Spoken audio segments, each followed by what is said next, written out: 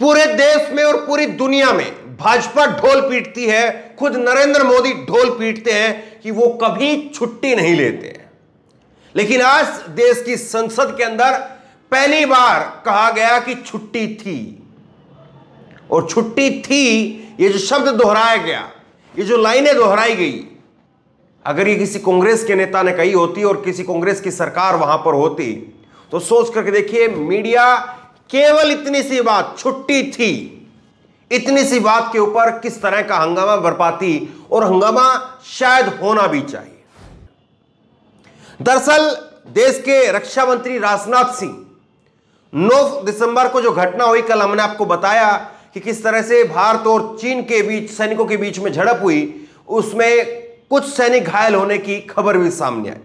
इस बात के ऊपर आज दोपहर 12 बजे रक्षा मंत्री की तरफ़ से जवाब दिया गया और इस बात को लेकर के जो विपक्ष के सांसदों की तरफ़ से ऐतराज जताया गया कि 9 दिसंबर की घटना है, आपने कल इसको 12 दिसंबर को क्यों बताया? इस बात को लेकर के जो है, वो विपक्ष ने ऐतराज उठाया कि संसद का सत्र चल रहा है और संसद में इस बात को रखा जाना चाहिए था। वो बात संसद में ना रख करके मीडिया के द्वारा हमें पता चली। देखिए, देश का संसद वो बहुत महत्वपूर्ण होता है। और खास करके जब ऐसी कोई घटना हो जाती तो उसके लिए तो संसद का विशेष सत्र बुलाया जाता है कि विशेष सत्र बुला करके उस पर चर्चा की जा सके। लेकिन जब संसद का सत्र चल रहा था, उस वक्त में घटना होती है और वो घटना संसद से, सांसदों को नहीं, बल्कि मीडिया से पता चलती है। सोचे इस बात को। 9 दिसंबर को जो है घटना हो गई, कई सैनिक घायल हो गए। कहा गया कि हमारे सैनिक कम घायल हुए हैं, चीन के सैनिक घायल ज़्यादा हुए हैं। रक्षा मंत्री ने क्या क्या को कहा मैं आपको विस्तार से बताऊँगा लेकिन जरा एक बार सुनिए आप। जब विपक्ष के नेताओं की तरफ़ से विपक्ष के सांसदों की तरफ़ से जब ऐतराज जताया जा रहा था कि 9 दिसंबर को यह घटना हुई 12 दिसंबर तक चला गया आपने क्यों नहीं बताया? राजनाथ सिंह कह रहे छुट्टी थी। सुनिए। नहीं बोलते। नो प्लीज़ में छुट्टी भी नहीं बोलते। बीच नो प्लीज़ में छुट्टी भी नहीं बोलते। बीच नो प्लीज़ में छुट्टी भी अब दरअसल राजनाथ सिंह यहाँ पर ज़िक्र कर रहे हैं कि छुट्टी थी। तो छुट्टी थी सही बात है। लेकिन जरा आप देखिए कैलेंडर पर नगाह डालिए। 9 दिसंबर को जब ये घटना हुई तो शुक्रवार था। और 9 दिसंबर की जो है ये घटना होने के बाद में 10 और 11 को 10 और 11 को शनिवार और इतवार था। चलिए मान लेते हैं कुछ देर के लिए कि 10 और 11 की छुट्टी थी, शायद नहीं बता सके। लेकिन 12 तारीख को 12 तारीख को कल क्यों नहीं बताया गया? कल इस बात को संसद में क्यों नहीं रखा गया? 12 तारीख को कल शाम को एक खबर आती है, और वो भी मीडिया में आती है। एएनआई के हवाले से खबर जो है फ्लैश होती है, और एएनआई के हवाले से खबर जो है फिर वो इस पर चर्चा होने लगती है। तो कम से कम अगर राजनाथ सिंह जी को ही मान लें तो फिर 12 तारीख को जब संसद पूरे दिन चला है, उस वक्त भी क्यों नहीं यह बात रखी गई? बड़ा सवाल है ये। ये सवाल ऐसे नहीं कि इसको हम जो है, इस पर चर्चा नहीं होनी चाहिए, इस पर सवाल सरकार से पूछा नहीं जाना चाहिए। जब देश के सांसद वहाँ पर बैठे थे, और देश के सांसदों से इस बात को लेकर के चर्चा होनी चाहिए, विपक्ष से इस बात को लेकर के चर्चा होनी चाहिए कि यहाँ पर इस तरह की घटना हुई है, हमने यहाँ पर इस तरह का एक्शन लिया है, अब आगे इसमें किस तरह का क्या और एक्शन हो सकता है, इस पर सलाह मशवरा होता है। बातचीत होती है। लेकिन देखिए किस तरह से। हाँ राजनाथ सिंह जी ने कुछ बातें ज़रूर साफ़ की। उन्होंने कहा कि ये जो घटना हुई है, इस घटना में हमारा कोई भी जवान शहीद नहीं हुआ है। एक अच्छी बात उन्होंने बताई कि चलिए, कम से कम जो है वो जवान हमारे घायल ज़रूर हुए हैं, लेकिन कोई जवान शहीद नहीं हुआ है। किसी जवान की सादत नहीं हुई है। इस बात को उन्होंने कहा। दूसरी बात उन्होंने कही कि पीएलए के जो भी सैनिक अंदर घुसे थे, उनको खदेड़ दिया गया, दोबारा से वापस भेज दिया गया, उनके, उनकी पोजीशन पे भेज दिया गया। ये बात बताई गई।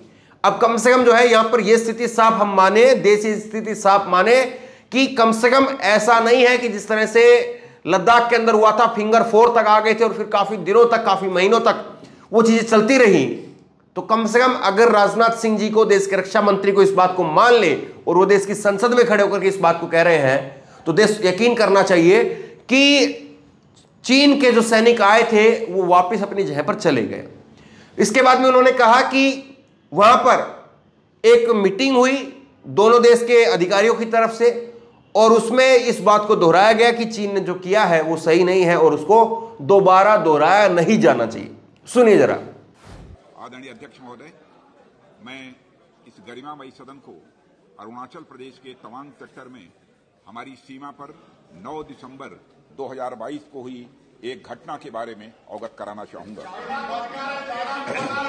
प्लीज़ स्टेटमेंट के बीच में नहीं बोलते। बीच नो प्लीज़ में छुट्टी भी थी। और 9 दिसंबर नौ दिसंबर 9 दिसंबर। प्लीज़ प्लीज़ 9 दिसंबर 2022 को पीएलए ट्रुप्स ने तवांग सेक्टर के यांगसे एरिया में लाइन ऑफ़ एक्चुअल कंट्रोल पर अतिक्रमण कर स्टेटस को को एक तरफा बदलने का प्रयास किया। चाइना के इस प्रयास का हमारी सेना ने दृढ़ता के साथ सामना किया है, अध्यक्ष महोदय। और इस और इस फेस ऑफ़ में हाथापाई भी हुई है। भारतीय सेना ने बहादुरी से पीएलए को हमारी टेरिटरी में अतिक्रमण करने से रोका और उन्हें उनकी पोस्ट पर वापस जाने के लिए मजबूर कर दिया, अध्यक्ष महोदय। इस झड़प में दोनों ओर के कुछ सैनिकों को चोटें भी आई हैं। और मैं इस सदन को अवगत कराना चाहता हूँ कि हमारे किसी भी सैनिक की न तो मृत्यु हुई है और न ही कोई गंभीर रूप से घायल हुआ है। इंडियन मिलिट्री कमांडर्स के टाइमली इंटरवेंशन के कारण पीएलए सोल्जर्स अपनी लोकेशंस पर वापस चले गए अध्यक्ष महोदय। और इस घटना के पश्चात एरिया के लोकल कमांडर ने 11 11 दिसंबर 2022 को अपने चाइनीज़ काउंटर पार्ट के साथ स्थापित व्यवस्था के तहत, स्थापित व्यवस्था के तहत एक फ्लैग मीटिंग की और इस घटना पर चर्चा की। चीनी पक्ष को इस तरह के एक्शन के लिए मना किया गया और सीमा पर शांति बनाए रखने के लिए कहा गया। इस मुद्दे को चीनी पक्ष के साथ कूटनीतिक स्तर पर भी उठाया गया है। चीन के साथ जो झड़प का मुद्दा है यह गंभीर है। इस पर गंभीरता के साथ बातचीत होनी चाहिए थी।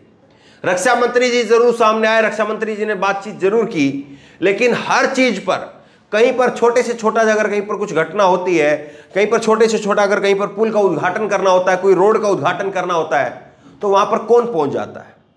और आज देश किसका इंतज़ार कर रहा था, क्या वो आए या नहीं आए? इस बात को भी जरा आप सोचिए। गंभीर मुद्दा है और इस गंभीर मुद्दे पर देश के जवानों के साथ में न केवल पूरे देश को, पूरे विपक्ष को, पूरी मीडिया को एकजुट होना ही होना चाहिए। इसमें कहीं से कोई शक सुबह नहीं है, कोई किंतु परंतु अगर मगर नहीं है। हम हमारे देश के जवानों के साथ में आखिरी तक रहेंगे, अंतिम सांस तक रहेंगे, क्योंकि वो अपनी अंतिम सांस तक हमारे लिए खड़े हैं। देश के लिए खड़े हैं। देश भी उनके लिए खड़ा रहेगा। लेकिन सवाल यही है कि इतनी बड़ी घटना होती है और मैंने कल जैसे आपको डिटेल में बताया था यह आखिरकार अब क्यों हो रहा है? पचपन साल से कुछ नहीं हुआ था और 35 साल जो आखिरी जो उन्नीस में घटना हुई 55 साल के बाद में पहली बार 2020 में ऐसा हुआ कि भारत चीन बॉर्डर पर हमारे जवानों की सादत हुई 55 साल के बाद। और 35 साल के बाद पहली बार ऐसा हो रहा है, अब दोबारा से कि कोई झड़प की खबरें सामने आ रही है। तो क्या चीन जिस तरह से लगातार उसको प्रधानमंत्री नरेंद्र मोदी कहते हैं कि विस्तारवाद जो है वो नहीं चलेगा। केवल उतना भर कह देने से क्या चीन जो है वो काबू में आ रहा है? या चीन को लेकर के कोई और रणनीति हमें बनानी चाहिए? क्योंकि देखिए, जो हमारी रक्षा मन नीति होती है, जो हमारी विदेश नीति होती है, वो किसी सरकार की नहीं होती है। वो देश की होती है। कोई एक सरकार किसी विदेश नीति को या रक्षा नीति को आकर के पलट नहीं देती है। हमारी पाकिस्तान के साथ में जो विदेश नीति है, रक्षा नीति है, वो वही चलती रहती है। चीन के साथ में भी ऐसा ही है। हम अमेरिका से कितना व्यापार करेंगे अमेरिका के साथ में कितना जो है वो रक्षा की खरीदारी करेंगे रूस से कितना करेंगे ये हमारा देश की नीति है। और वो चाहे कांग्रेस की सरकार आ जाए चाहे बीजेपी की सरकार आ जाए या किसी और की सरकार आ जाए वो उसी तरह से चलती रहती है।